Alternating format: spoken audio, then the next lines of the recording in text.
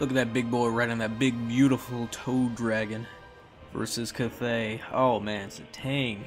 Watch it looks so beautiful. One of the most jealous things I could have for Grand Cathay. So, Tamurkhan on his big boy here. 2850 I believe is his cost, and I still have enough to overrun Cathay. The Cathay player must have expected a sorcerer on a rot beast. Which, to be fair, is a good assumption since they're so cheap and efficient for what they're cost. But in my experience, you want to throw something into Cathay.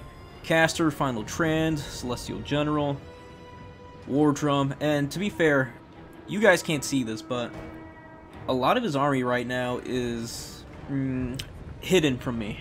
So I don't know exactly. I got a few glimpses, but I wasn't sure until I got close with Tamurkhan here. And yeah, we have Pestigors, we have Marauders with great weapons, we have Nurglings on the side so they can catch anything trying to come in. He's got fire arrows to deal with any healing, but he doesn't know what kind of healing I have yet. And as you can see right now, we're saving up a lot of points right now. I'm trying to just fish in there. I'm not just saving up because I don't know what I'm doing and I'm not unaware. No, I'm saving up for something real special. Nothing too crazy, but it is efficient, I'll give him that. He's got a Jade Warrior on the low point, which will hold. If I send a Pestigors, I should be able to deal with him. And here they come. Two, and I think maybe one more Fury, three Furies to come deal with all the problems. I've done this before on this map against Cathay, where I just unload three Furies into this. Tamurkhan, great distraction card effects. He's taken, I think, over 6,000, or no, has to be at least 3,000 damage so far, which would have killed the so Nurgle Sorcerer, because they're like, what, 4,500, 5,000 HP? Tamurkhan's just tanking like a boss.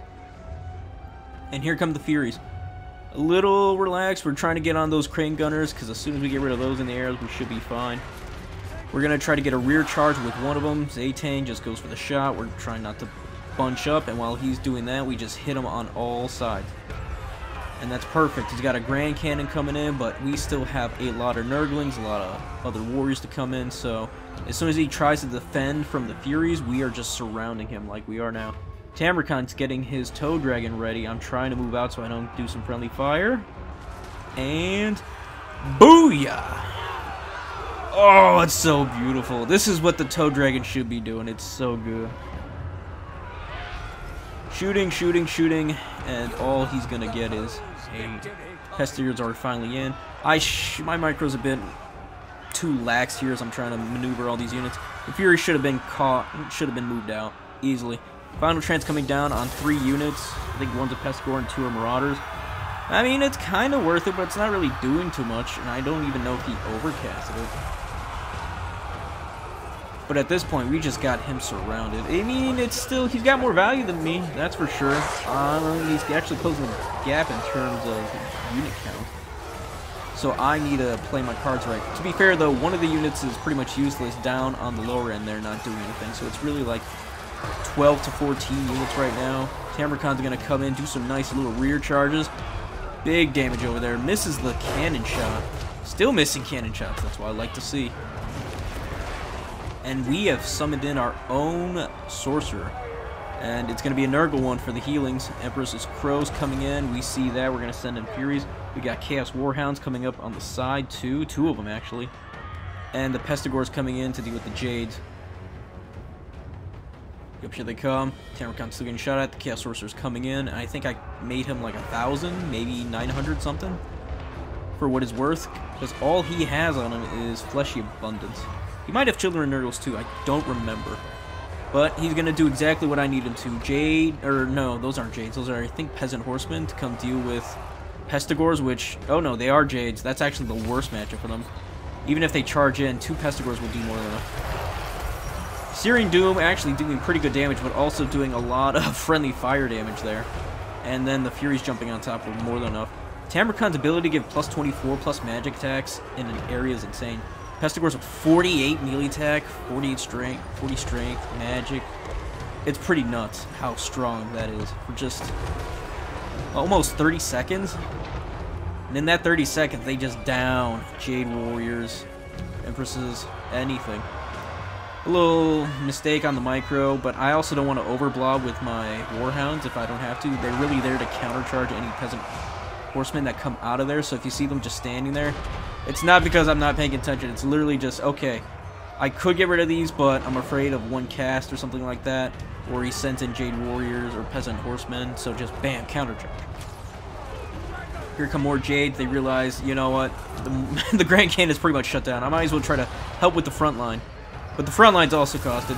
My opponent makes a huge mistake. You're never overcast your Searing Doom. Yes, you get more area, but you get a lot less for that area. For the Winds of Magic you spend.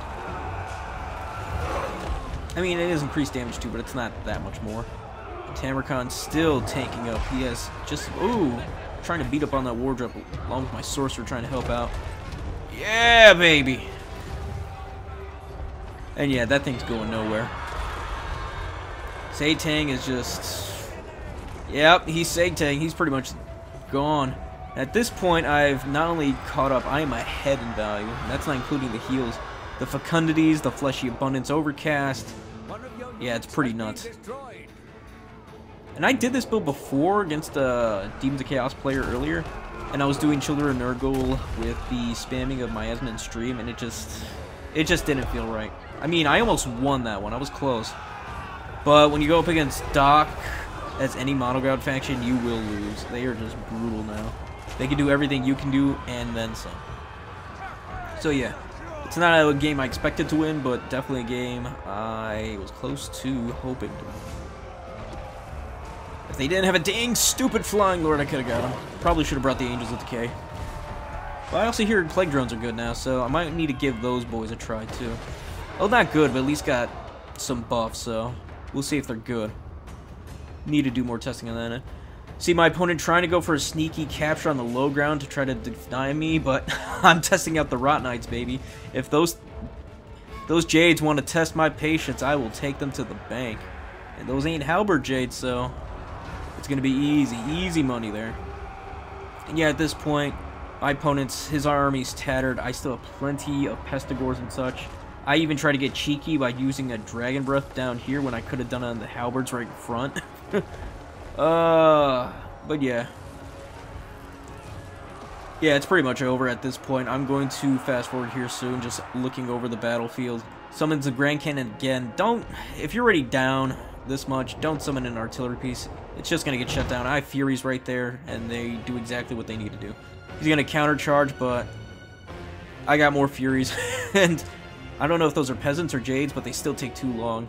Satan finally uses his Watcher's ability or his bow ability, but by now it's already too late. Tamurkhan's here, he's there, he's gonna hit you in the face, his dragon's gonna eat his lord soon. Zaytang's getting beaten up by the rotten beast. And yeah, GG's opponent, GG's. By the way, this was on the ladder, so... Yeah, it is what it is. Um, Tamurkhan did not pay for himself, and that's with heals, so... But I think he's great. He took a lot of damage. And although that's not reflected in the value, I think that should be reflected in his usefulness, especially being unbreakable. So he won't get trapped down. Didn't bring in any great weapon ogres. Rot Beast, uh, they only really dealt with Satang, so it is what it is. Fury's MVPs, as always in this type of matchup, so I'll give it to them. Uh, Alright folks, we're coming to the end of the video. I hope you guys enjoyed it. Please like and sub the video. We're on the road to 2,000 right now. Join the Discord. Come see me on the stream. Show some love or play against me. Or anyone else on the channel here. Always appreciated. Alright folks, with all that said, y'all have a good one. Peace and goodbye for now.